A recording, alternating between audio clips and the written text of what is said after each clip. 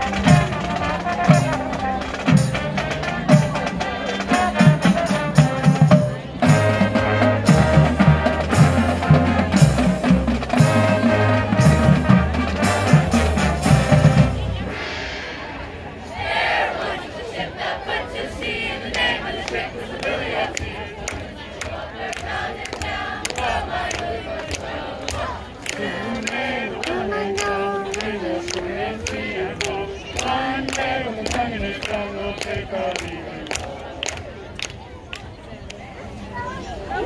leave.